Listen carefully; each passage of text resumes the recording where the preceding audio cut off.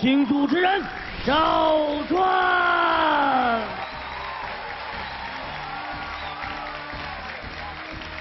谢谢大家，欢迎电视机前的观众朋友走进《暴龙眼镜爱情保卫战》。本栏目由 Bloom 暴龙眼镜冠名播出。我们的节目是由休闲旅游领导者途牛旅游网特约播出的。休闲旅游找途牛，下载途牛 APP，手机预订更便宜。选择幸福，选择亚赛和来盼盼，盼盼到家，安居乐业。本栏目由拉芳柔顺洗发露特别赞助，感谢拉芳柔顺洗发露对本栏目的大力支持。天天圈用户特权再升级爱宝粉丝下载使用天天圈提问，就有机会在爱宝节目中得到导师的现场解答。使用微信摇电视参与实时互动，并分享至朋友圈，就有机会获得实物大奖。今天我们请到的是著名的节目主持人马丁马老师，欢迎马老师。演员、主持人关凌老师，欢迎关老师；华谊家境的副总裁曲伟曲老师，欢迎曲老师；爱情导师涂磊涂老师，欢迎涂老师。好了，接下来先看今天的第一对嘉宾在情感当中遭遇了些什么。我跟他结婚这几年，真是大风大浪，什么都经历过了，跟演电视剧似的。我们家经济条件不好，幸亏有他，我才能结婚。我从来没嫌弃过他家穷，但至少他得靠谱啊！没想到他一点也不靠谱。也不光是我一个人不靠谱，他和我妈妈也有矛盾。现在他想复婚，但是我考虑这婚不能轻易复，我想请专家帮我看看。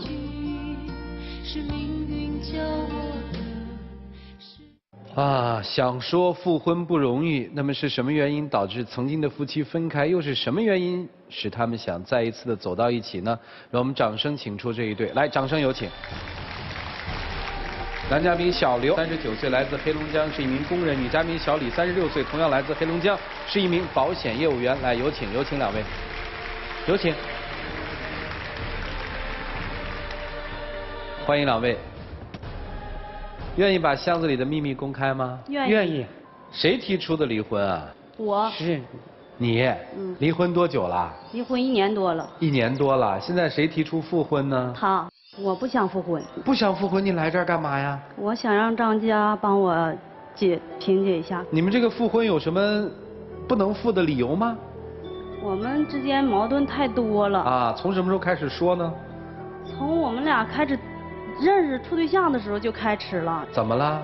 我俩刚处对象的时候，他家就非常困难。我俩是在厂子上班认识的。那时候他追我的时候，我把他带到家里，我父母就嫌问他身体单薄，而且家庭条件又不好。我爸妈说的，他还是农村的，将来以后成了家，不能总在外边漂泊打工，得回到家里去种地吧。他那身体将来要种地，没有体格根本不行。所以你跟着他将来得遭罪，所以我爸妈不同意。那时候我硬跟着他了，结婚才要了三万块钱彩礼，他都拿不出来，实在没有，说拿一万也行吧，给我拿一万块钱，他去张罗钱去，张罗结婚，最后就整了八千块钱，实在是太少了。完了我一生气，在他家一天早上洗完头，离着车站得有二三里地啊，我走到车站，给我冻的耳朵水凉的大泡，就剩耳根子活动了，差点把耳朵没给我冻丢了。我走到车站完，然后回家。回家我姐问我为啥回来了呢？说定日子了吗？我也没吱声。然后我家我姐给他打电话，说的怎么回事啊？完他说啥呢？差两千块钱他就不结婚。我大姐说的处这么多年了，不能因为两千块钱就不结婚。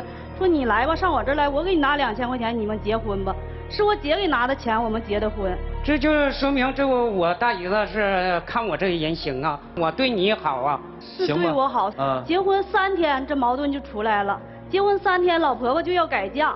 完我说妈，因为啥呀？好像说这儿媳妇刚进门对你咋地了的似的。完老太太说啥呢？因为家里饥荒，说该人家六千块钱，这钱要不给人家的情况下，就得我去跟人过日子去。这没招了，我把钱拿出来给还饥荒。这就说明你孝心吗？这所以说，我也也是为了你，为了这个家，我也是我孝心行，我认了，我认做。然后结婚刚不长时间就怀孕了，怀孕之后这一发现他家积婚可多了，那时候积婚就达到快三万多了。那么多机会要孩子不跟遭罪吗？我就不想要这孩子，所以我就买了瓶药吃了，我寻思把孩子打下去得了。吃什么药啊？打胎药。不过这孩子命挺大的，没有打下去。实在打不下去，没招，我就得为这孩子负责任。啊我寻思我就跟他干吧。那时候我带孩子八个多月，我跟他上地去扒苞米去。生完孩子开始科二打工，跟他拼搏，先把机会还上。啊还完机会，我寻思孩子大了，等到上学的时候，不能让他在农村上学，啊要给孩子创造一个良好的学习环境嘛。我寻思好好干完，然后在市里争取买个房子。我们家里有十九亩多地，有他，其中有他大哥六亩半，他啊和我妈一家六亩半，一共十几亩半地。我和孩子连地都没有，啊就这点地。完了，他大哥是单身一个人。完，我寻思等那个地一堆在一起卖了，就当我帮我们了。然后我跟我大哥商量，我说那地你先给我们卖三年，卖了之后我们先在市里交个首付，买个啊房，将来孩子在市里也好能好好上学呀。完，我大哥说啥不帮我们？就因为这个我们总是吵。我是那凭咱自己能力，人家乐帮就帮你，不乐帮你，非得说我去那个跟他打去去闹去啊。啊那帮你是人情，不帮你是本分，啊哥兄弟不就是这么回事那后来？你们住进城里了吗？住进去了，那不是挺好吗？那还有呢，再说啊了，因为这个地还有老太太和我妹妹都特别偏向我大哥。啊那时候那个地吧，寻思这没卖三年，没用他帮，我也把房买了，行了。完，然后又到价个三年了，我寻思把地咱卖了，说谁卖地谁养活老太太。我我寻思我大哥没有家，就得我俩照顾老太太。我寻思把地卖了之后，把家里农村的是土房，那土房还平顶的，直漏土，直漏，一下雨就漏。我寻思把地卖完三年吧，能够把房盖换上的。完了，我卖给他妹妹，他妹妹家包地种啊，不能卖给别人，才二百块钱一亩。我说你先给我拿两年的钱，就够整房盖了吧你们？等于是把土地出租是吧？对啊，那不叫卖地，那叫出租。你看。对啊，这听完了了半天。嗯两年的钱，我说你先给拿两年的，完了先答应了，同意拿两年的。不知道回家过了几天咋想的，没跟我说，直接跟他说了，哦不买了，没有钱了，他跟我削。完了我俩就回市里了，没在家等着卖地。完了我回市里，他大哥在家卖地了，他大哥说要买车，卖地也也把地卖给他妹妹了，卖三年了，他大他妹妹也把钱拿出来了，一吨三年的钱都拿不拿出来，我们拿他就拿不出来。俩这个没有什么关系啊。这不都因为家里的琐事吗？哦他关键我一提他就不听啊，他我一说他家里他就不乐意，就跟我干仗。啊。后来完了，然后那个老太太又有病了，嗯有病不是谁卖地谁管老太太吗？啊我大哥给地卖了吗？完了他管老太太，他给老太太送医院去了，拿一千块钱交上住院费了，然后给我们打电话，我去了。我去之后了，到时候人大夫催交催款交款的时候，他不交了，没拿不出来钱，没招了，我得交啊，不能看老太太不治啊。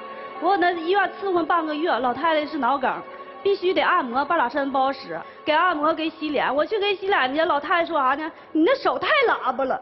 我说妈，我这不跟你儿子享福享的吗？我要啥也不干，我再也不能这么喇叭。嗯。他有病，那你非得和他一样的吗？行，他是老人，我不跟他一样的。那那后来呢？后来完，我回家我总拿这事儿在我心里憋屈，我啊一不顺心的时候我就提，跟他提的时候他就生气，完生气打我。有一次打我不说，还要走，不跟我过了，动不动拿离婚说说事儿。现在哦是条件过好了，我在外边那时候勒着苦日子跟你过了，过到今天，现在有点好转了，你动不动就家打我，还一整离家走要离婚。你打人啊？给我逼的，你知道吧？他始终就跟你俩要干仗，你跟干也得干，不干也得干。我就是那啥，这个给我整急眼了，我就还手了。你们俩是对殴是吗？是的，啊，那就不是他单打你是吧？不是是你先打他，然后他还手。是的。啊，这是男人手重，你怎么能打媳妇呢？是吧？这还不算呢，完一整就走。啊有一次走骑自行车走。他离家出走啊？嗯、他说啥呢？这活啥意思呀？这这日子真没法过了，这活真没劲。说走吧，出日不如让车撞死了。虽然说那么吵，也是有感情的，我担心他怕万一出去有点啥事儿。完，然后我就跟着跟着骑自行车，我在后座子跟着坐着过那个斑马线，一个大卡麻子拉一车沙子过来了。啊给我俩撞出十多米远，给我撞的撕脱性骨折，给他撞出三根软肋，这这都是打仗造成的吗？啊，那就别打了呗。关键你生气呀、你说家里这些事儿。啊，然后你去年就提出离婚了。对，你是因为什么事儿提的离婚啊？就是因为家里这回因为我妈吗老太太这不是得这脑梗还离不开人，我寻思把他接到市里来，还有照应，孩子也上学，嗯我就在家就不去干去了，我就在家伺候孩子和老人吧。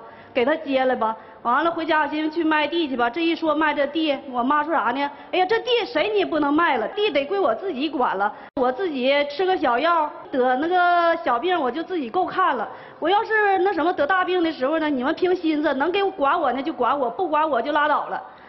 这因为这事儿回来我也生气，我俩回来又吵起来了。吵起来他打我，给三个板凳摞到一起轮削我，打得我半天都上不来气儿。那我是也喝点酒，那是说是太生气了。你是经常喝酒吗？不的，不他就现在刚那什么喝点酒，完然后就因为这事儿生气喝的打我，所以你提出离婚了是吧？对然后你们就离了。嗯，孩子跟谁了？跟他了，男孩儿女孩儿？小女孩儿今年十二，哦，听来大概是不是这方这几方面的问题哈，主要是跟婆家关系不是那么好，是老觉得自己的婆婆偏向了大伯是吧？嗯然后这是第一个问题，第二个问题现在等于婆婆出现了养老的问题。是的那我问你个问题啊，在你们俩十二年的这个曾经的这个婚姻生活当中，呃，除了跟家里生气，你们平常日子过得怎么样？好吗？我俩感情还，当时为什么离婚的时候没把闺女带走呢？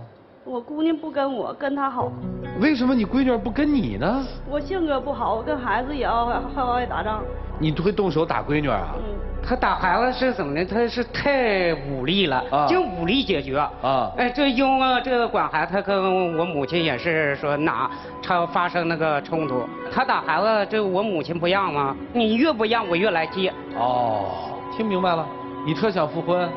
嗯，我特想复婚，是为了这个孩子的成长跟你没关系是吧？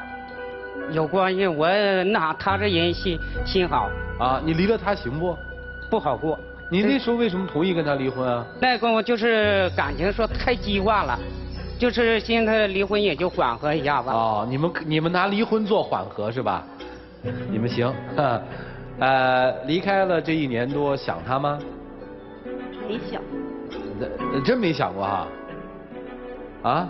偶尔的，哦在外边难的时候还想想他对我好，哦，但是为什么不想跟他复婚呢？又觉得过去受的苦太多了是吧？是的，过不去这坎儿是不是？是的，啊，好了，这一对儿该怎么办呢？问题交给我们的四位老师吧，一起进入丘比特问卷。幸福都是一样的，不幸各有各的不幸。女的觉得家暴是不幸，但你是受虐的那一方，也是施虐的那一方。其实，你老公打你次数没有你打老公次数多，是吧？是的，要说家暴的话，你老公应该哭得比你更惨。你觉得你管得住你的手吗？打老公、打孩子的手我要不生气的时候我不能打，啊，生气就打，你能管得住你的手吗？管不住就别复婚，复婚干嘛呢？继续打老公，继续打女儿。女儿十二岁了，她现在肯定记得很清楚，对于将来的每一件事情。你现在哭了，是因为你想女儿，还是觉得对不起她呀？对不起孩子，所以我说，离婚这事儿未必对不起孩子。咱们很多人都强调说不要有单亲家庭，怎么那么不幸福？但如果有家暴的家长离婚了，少了一份挨打，那还不如离婚呢。这是一个不幸，还有一个不幸，跟婆婆吵架，你打孩子，你没事儿还还家里不和睦，跟老公还干仗，自己这不慢这不愿意那不愿意，当初怀孕时候就想吃药把他把孩子给干掉，这些事儿哪个婆婆能高兴啊？这样的处理方式，幸福了才怪呢。因为啥事儿你都没处理好。解决方案很简单，如果回去能好好过，不打孩子不打老公，凡事好好跟老婆商量，别跟家里闹矛盾，把有限的日子过得更好，一步一步来，那就复婚。如果觉得自己做不到这一点，复了不还得离吗？呃，我喜欢这大姐这脾气，刀子嘴豆腐心啊。我看她说的时候都挺恶狠狠，但是最后那事儿吧，反正一件她没少干。该伺候的伺候了，是该花的钱花了，是该想得到的那点利是啥也没得着。你要说你真得着什么了，你也值。你啥也没得着啊，婚也离了，是不是？要说家家有本难念的经啊，我觉得谁家也都不容易。您要是说以后再找一别的男的哈，我估计也得有新问题出现。嗯夫妻还是那原装的最好啊。听你这话，你就说希望你们这女同胞能就坡下驴就富了，是吧？哎，我是这意思，就原装的最好，何况有孩子。嗯我觉得那孩子肯定也是，在后妈再怎么好，也没有亲妈好，这毋庸置疑。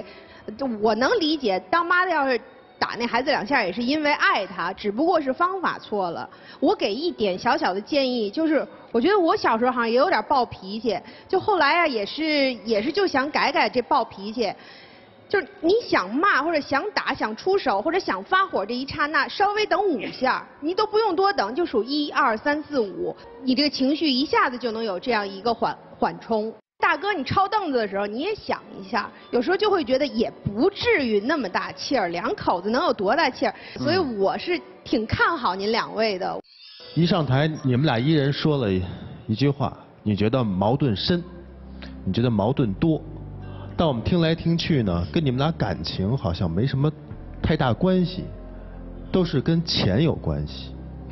打一开始，礼金从预期的三万减到了一万，最后一万也没有，八千，那两千还是你姐姐给补的，图什么呢？其实你图的不就是他这个人吗？是的，身体不好，你还是愿意跟他，挣钱也不多，你还是愿意跟他，为什么？为的不就是那份情吗？是你们感情有问题吗？没有，他心思扑在哪儿了？的确都为了这个家。对，单从一个细节就可以看出来，女儿跟他不跟你，而且老公在家里的是满十大局的，都是被你打的不行了是吧？是的，才敢还手，有孩子，结婚十二年了，这是多么深的感情。你们离婚了，你现在又其实还是没招没落的，对不对？否则你口嘴上说我不想来，不想复婚，那你今天来了，其实你这个心思也是大家都可以看出来了。你前夫现在也是心里一直有你，你们现在复婚的契机是非常大，只要摆正好自己的心态，不要动不用动不动就用手去解决问题，多用嘴，多跟他聊聊天儿多想想你们好的事情，对方做过什么令你感动的事儿，你这个家庭是有多么的重要，好吗？我希望你们俩和好，就这样。嗯，谢谢谢谢徐老师。一个是善良的女人，一个是老实而本分的男人。为什么这么一对朴素的夫妻，这日子就会过成这个样子？为什么这么一对与人为善、孝敬老人的夫妻，却得不到家人的理解和支持？可能这个问题女方一直在想：我对人不错呀，我对老太太也不错呀。我们一对夫妻一直是与人为善的，为什么会导致到现在这个样子？为什么？女方一定在想这个问题。我觉得女方的答案应该是：人善被人欺吧，马善被人骑吧，恨自己的男人没有用吧？女方是不是这样想的？是的，对，但是我告诉你，说你们善良，你们也善良；说你们不善良，也不善良。你们对外人确实很善良，你们对对方却一点都不善良，说打就打，说骂就骂。所以问题就在这儿，你们窝里横，你们不一致对外，你们就把那些心思，把那些狠劲儿花在对方身上，这是你们最大的一个问题。我们虽然说人善被人欺，马善被人骑，但这是一种极端的说法。另外还有一种说法叫做人善人欺天不欺，人恶人怕天不怕。善恶到头终有报，只争来早与来迟。其实真正一个人的忍耐是一个人的强大之处。你们俩错就错在可怜之人必有可恨之处。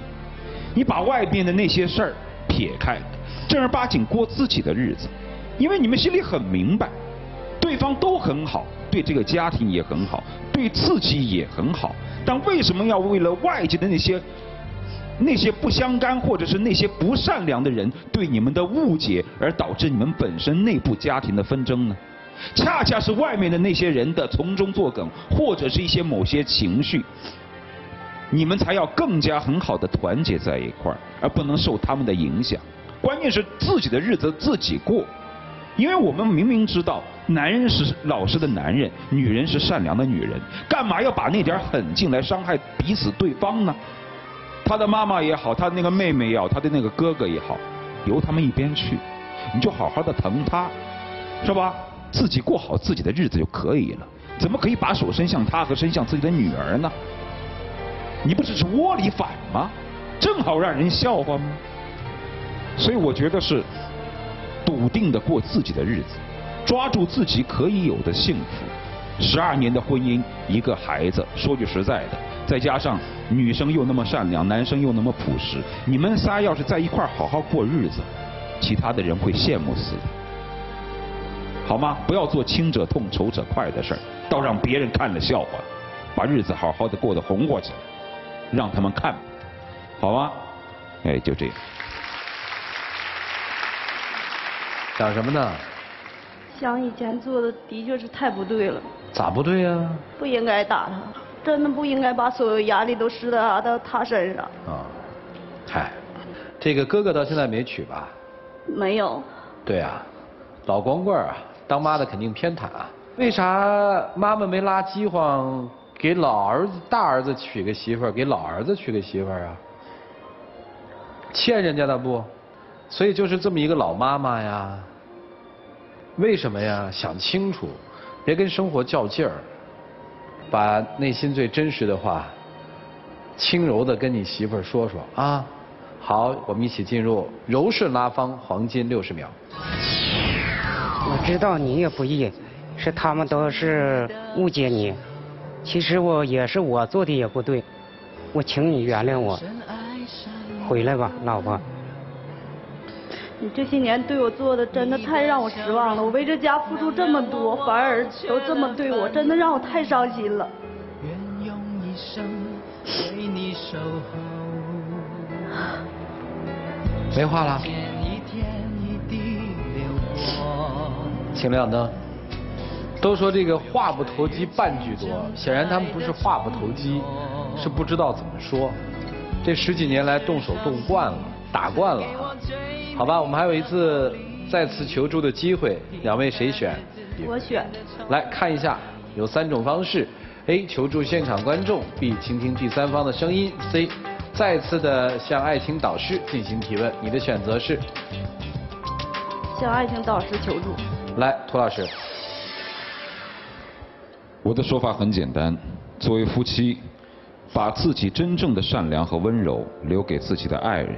外人能够理解，你是幸运的；外人不能够理解，你也未必是不幸运的。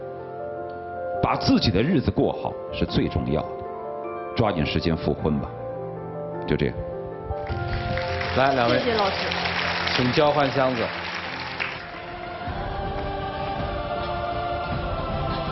请回吧，两位。一对十二年的夫妻，因为家庭琐事，最后走向离异。来，请关门。离异年之后，两个人大概都会对家有了一些新的思考，有了眷恋。虽然没有悬念，但是还有很多东西我们想知道。一起数五个数：五、四、三、二、一，请开门。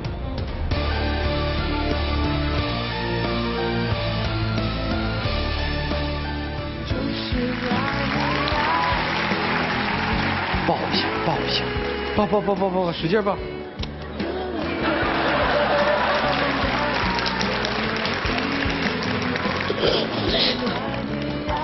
哎哎哎！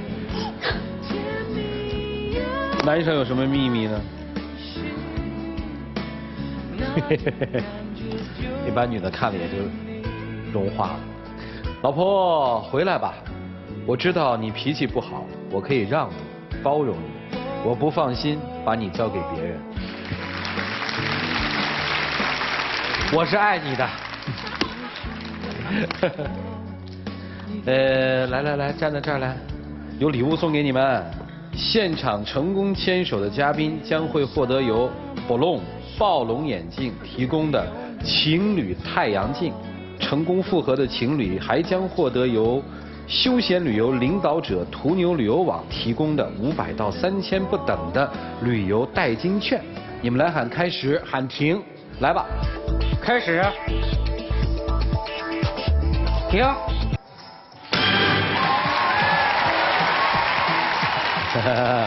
接下来有请我们的小花童，选择幸福，选择亚赛河来盼盼，盼盼到家，安居乐业。谢谢小朋友。接下来，让我们一起来见证这个属于他们自己的浪漫而幸福的时刻。老婆，你回来吧，跪下来。以后会对你好的。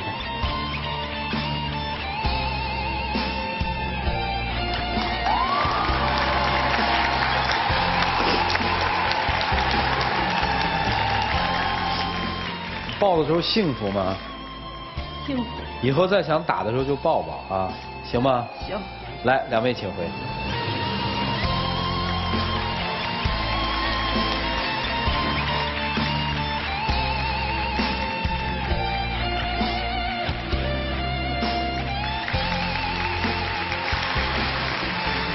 要祝这对曾经的夫妻今天再续前缘之后，能够有一个非常幸福和美满的家，有一个很好的未来。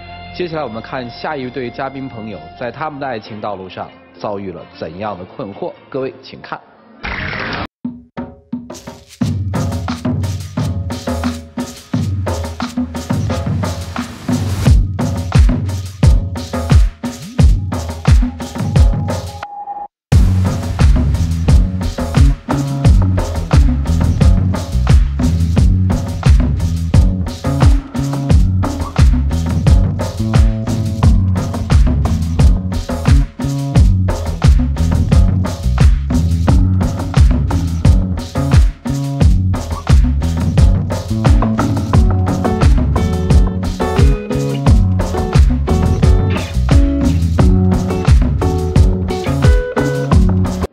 觉得累的爱情，就真的不能要吗？在这个累的背后，又藏着一些什么呢？让我们掌声请出这一对，来，掌声有请。男嘉宾小张，二十五岁，来自辽宁，是一名中介；女嘉宾小颖，二十四岁，来自辽宁，是一名礼仪模特。来，有请，有请两位。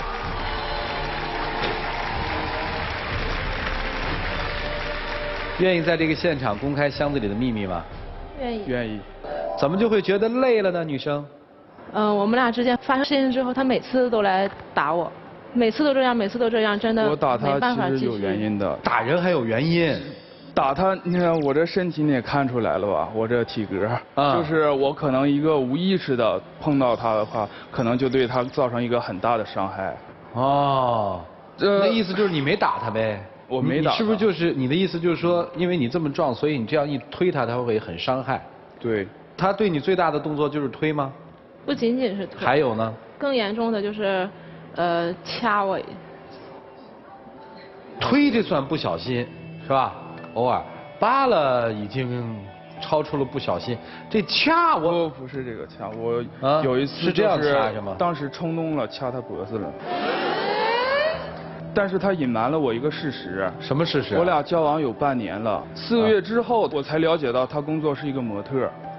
模特怎么了？在我这个想法里边，我这比较想法比较传统啊，我就感觉模特这个工作。对于我和我的家人以及我身边的朋友都无法接受。我干模特这个行业，我本本分分，也没做对不起你的事儿。模特这个工作，我感觉一天到晚陪着多少男人喝酒，一天到晚走台走秀。那只是你自己的想法，那只是让我怎么想？只是你自己的想法。但是这个模特这个行业的确容易给人走向堕落。当模特多了。那每个人都是都是像你那样想的吗？有一次我和我跟我闺蜜出去，晚上回去已经挺晚了，我就是不想回去了，然后我就跟她我就给她打电话，我就说我今天晚上在我闺蜜这住一宿，她就是不相信。我给她打电话，我都解释了，我就是因为你都四个月没告诉我你是一个模特，我对你的信任已经下降了。你之前没问过我是干什么工作的？你们谈恋爱都不知道对方是干嘛的？他也就是你们俩怎么认识的？朋友介绍。朋友介绍不介绍是干嘛的？你们这就谈上了？反正我也心比较粗，也没问他。好吧，那就知道了，怎么着呢？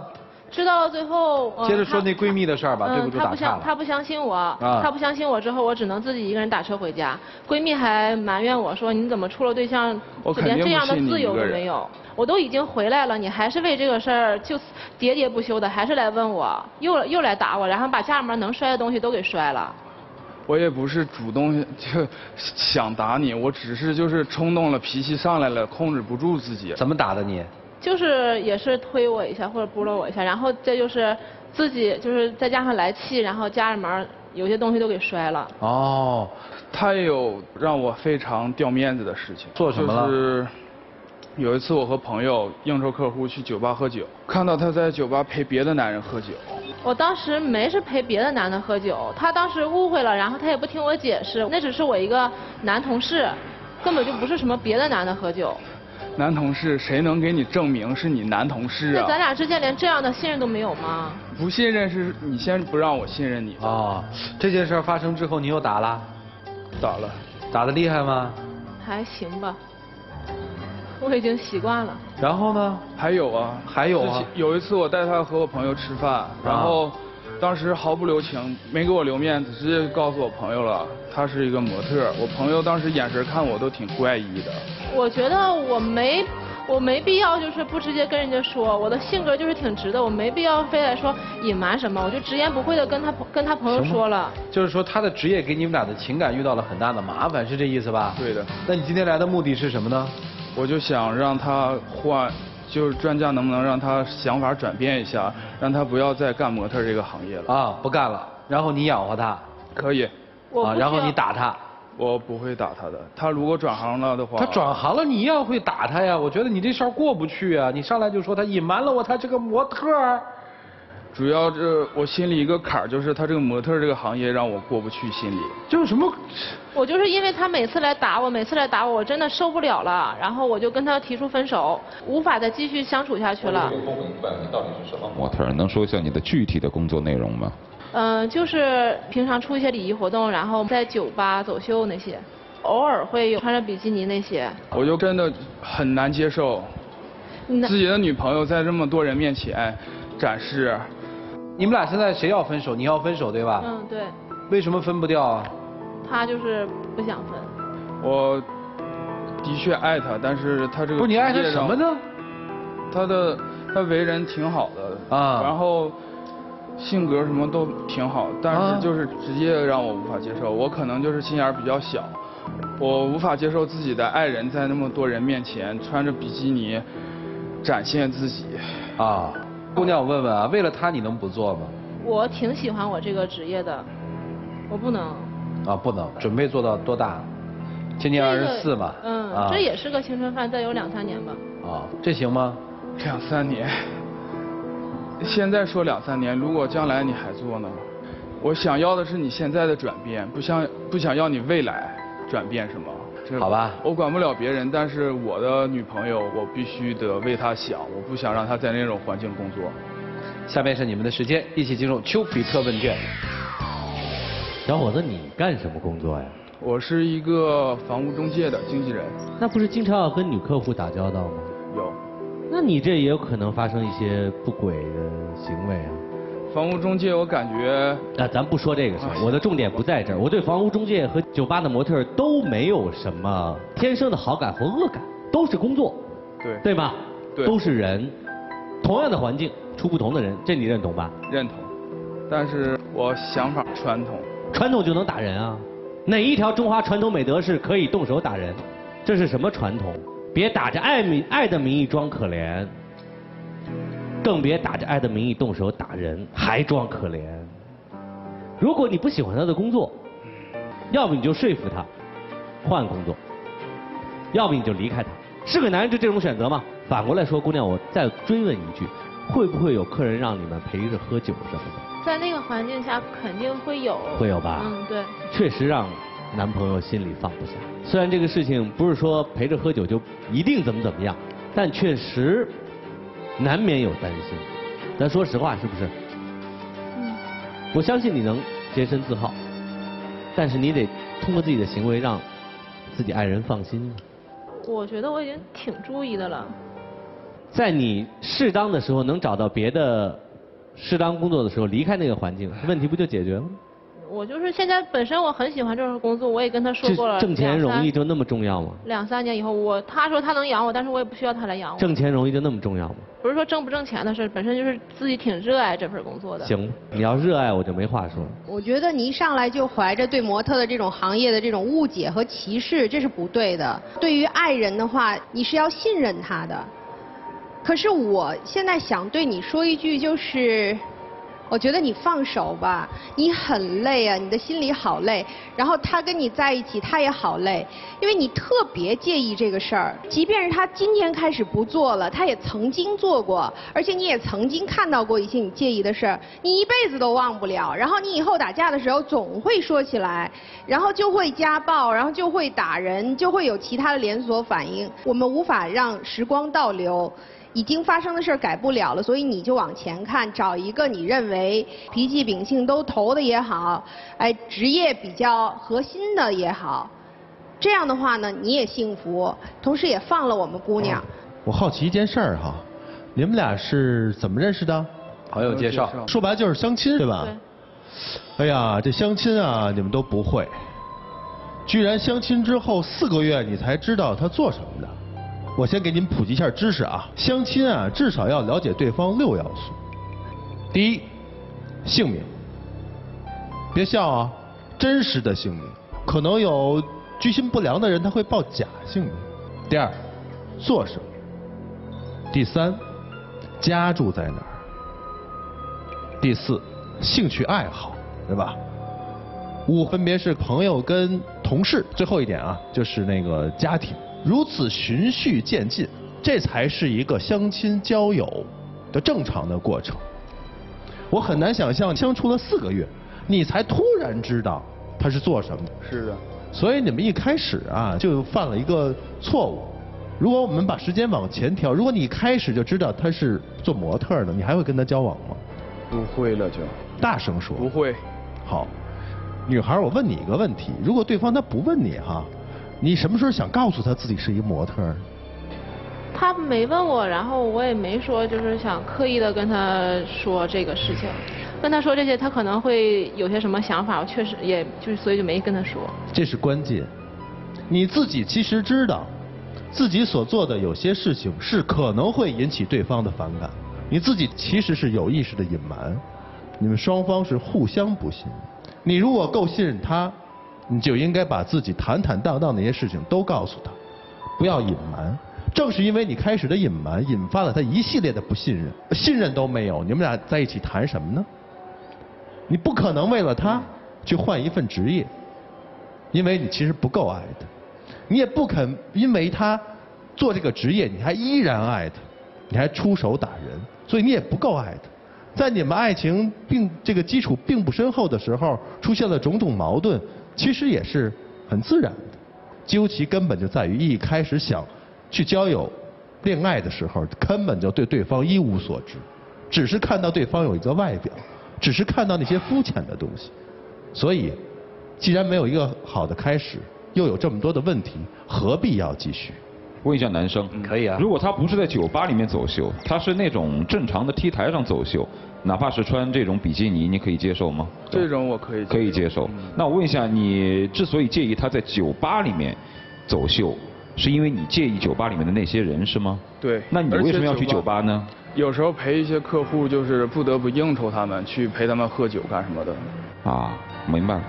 我个人对于在一些充满酒精的场合穿着过于暴露的服装，我觉得挺危险的，这是我的个人看法。但其实我的看法不重要，关键是你们自己的看法。其实在我看来，女方自己对于自己的这份职业，似乎也有一点点介意，否则的话你不会不告诉她。但其实今天真正的问题不在这里，我们想大部分的问题在男生身上，那就是虚伪。我刚才问你，我说你会去酒吧吗？你说你跟客户在那儿，也就是说平时你在那儿你也看表演。只不过是那个时候 T 台上的人不是你的女朋友，所以说，我认为你的行为极其的虚伪。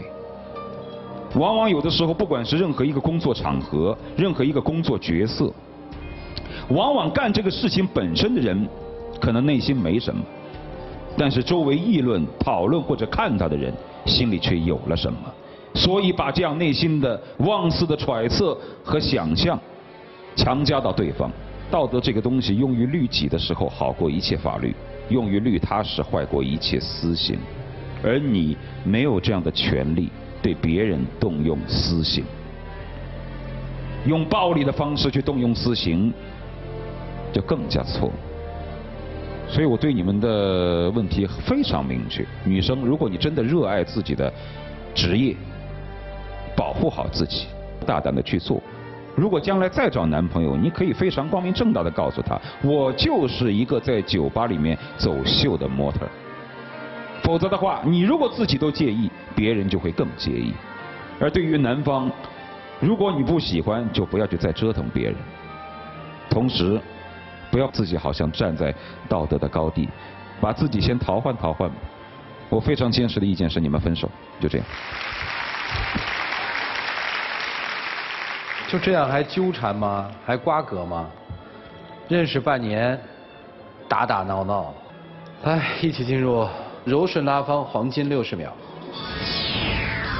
小茹，我来到这个节目就是想让你和我重归于好。我经过专家们的对我的说教吧，反正我想法有了一点改变。我可以等你一年，如果一年之后你还不换，我们俩就分手。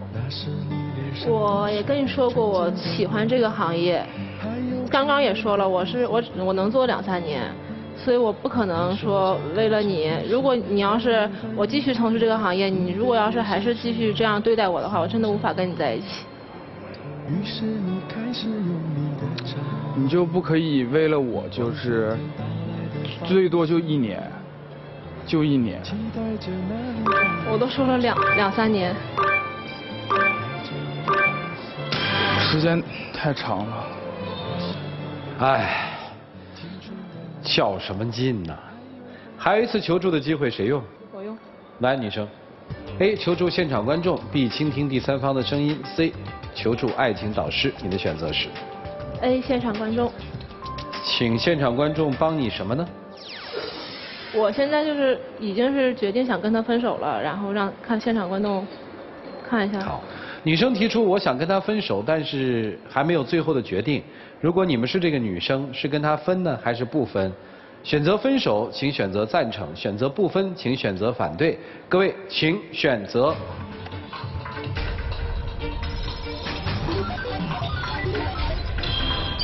现场有百分之八十一点二五的这个观众说，如果他们是你，他会分。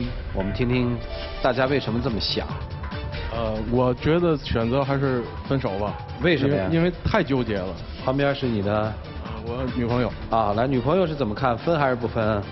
嗯，我和他的意见是一样的，因为我觉得感情要是的基础是要两个人在一起快快乐乐的，但是你们在一起半年了，我觉得这些痛苦和纠结远大于快乐和幸福。啊，我觉得这样的时光，你们都这个年纪了，不必要在这种特别纠结而不幸福的感情里浪费自己的时间。好，谢谢啊，两位交换箱子吧。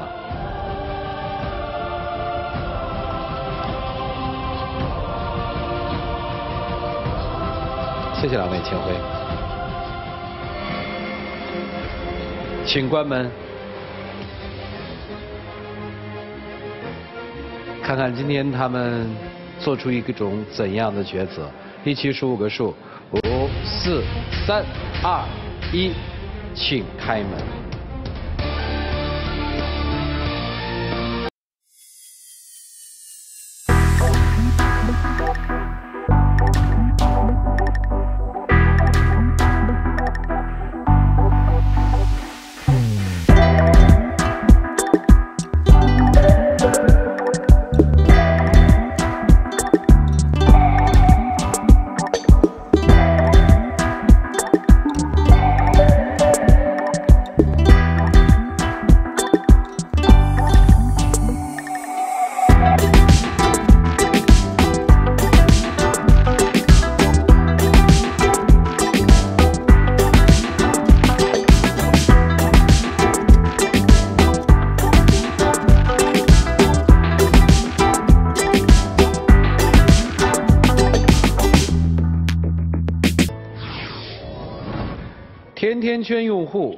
王凡提问：结婚三年有一个孩子，老公好吃懒做不上班，靠家里养也不让我上班，双方家庭经济也不好。我家还有一个脑瘫的弟弟。